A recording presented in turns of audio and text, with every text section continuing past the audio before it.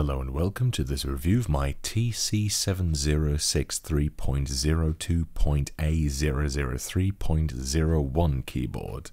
Is glorious model number. I've had it since 2017 and I bought it for £15 off of eBay, which is not too bad, but like most of the boards I buy myself, it took ages to get to. Regardless, I can finally show you strong Soviet input device. Давай! This keyboard was apparently part of a TC7063 alphanumeric video terminal, which itself was part of the ES7970 display complex, whatever that means. The terminal was designed for creation of a distributed data processing system. Again, not being a computer major myself, I find it very difficult to visualize what any of this is supposed to be. However, apparently this manifested in doing things such as editing small bits of text, data preparation and preparing tasks, etc. It was made in the USSR in 1990, as you can see from the model sticker. The G is presumably for Goda, which means of the year. I'd say it actually looks older than it is. I have no idea who made it, presumably the company who also made the terminal, although this doesn't appear to be a single entity, presumably due to the structuring of the Comecon countries during the Soviet Union era. The system belonged to ESEVM, which is short for Jedynia System Elektronik Wyczyslitelnych Machine, or Unified System of Electronic Computers in English, was a series of IBM clones and not apparently an actual manufacturer but I figured it would be precise enough to double as an identifier for the switches it uses which are, somewhat typical for a Soviet keyboard, magnetic reed switches. Most Soviet keyboards were based on magnets, being either Hall effect or magnetic reed, and these are no exception. Often these systems were designed for extreme resilience and using magnetic reed switches, which are virtually indestructible and should last for billions of key presses per key, when working in the voltage range used in keyboards at least, would be perfect for this purpose. To show in more detail how this works, each switch has an open contact consisting of two separate terminals encased in an airtight glass bubble filled with an inert gas, and the terminals are brought together using an external magnetic field coming from a magnet embedded in the slider, which you can see here. This system, which is ironically a contactless form of contact-based sensing, is extremely durable, as you can imagine, as there are few interacting moving parts. It's just a slider moving up and down, really. Unlike other contactless switches, such as Hall effect, inductive, and optoelectric ones, for example, magnetic reeds are not analog capable, though. They're simple make-break switches. Contactless switches, like magnetic reeds, can be made extremely smooth as there is no physical contact with the electrical circuit in the switches, a nearly frictionless design can be made using this system. For example, this Fujitsu keyboard from the late 70s has magnetic reed switches that are among the smoothest I've ever tried.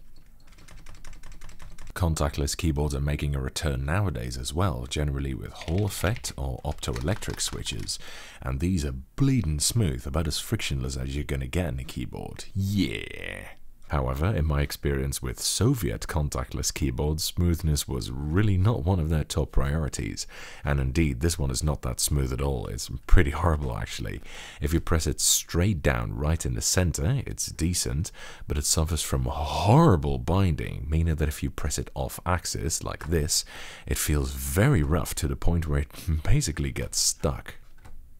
The switches are durable enough that I'm sure it still works like the day it was new, but unfortunately it doesn't exactly come with a connector, let alone a protocol, that I'd know how to deal with. I think technically it would be possible to map out the matrix using a converter, but I don't have any experience in doing that myself, and frankly it doesn't feel good enough for me to try. Also, it's got what might be the rattliest spacebar in history. Listen to this. How crazy is that?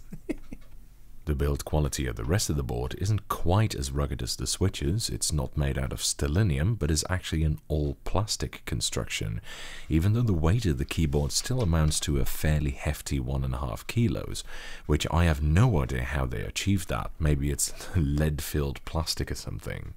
Actually, it might be the pillars, which are steel, and it's got a second PCB absolutely loaded with controllers for some reason, which is also pillared to the board. I can't really think of where else the weight could come from. At the top of the keyboard are a bunch of embossed legends or shortcuts, but because they didn't color them, they're almost invisible. I also have no idea what they could possibly mean. The keycaps are medium thickness double shot ABS and they have Cyrillic legends as well as Latin sublegends in the good old JCUKEN layout. Some rather weird symbols here and there as well, not sure what these for example or this one does to be honest. The caps are uniprofile and use a block mount by the way. They have spherical key tops which cradle your fingertips towards the middle, which is kind of late for a keyboard from 1990, but is very welcome considering how terrible it is when pressed anywhere except dead center. Also note that they have almost no taper to speak of. The sides of the keycaps are practically vertical, so the key tops are very large and close together. Another really weird thing, which you might have noticed already actually, is that apart from the spacebar, there isn't a single key on the keyboard that's bigger than one unit, not even the return key. I guess they knew it binds horribly off axis and couldn't be fucked to install or invent stabilizers. Overall, it's certainly not the best or even the most exciting Soviet keyboard I've ever showed, I think, but it was still a nice one to explore and I guess it was cheap too. It also came with a case, which is certainly not guaranteed for Eastern Bloc keyboards at the time either. Many of them were monoblock computers with an integrated keyboard module. Anyway, that's it for this review. Thank you for watching. I hope you enjoyed it.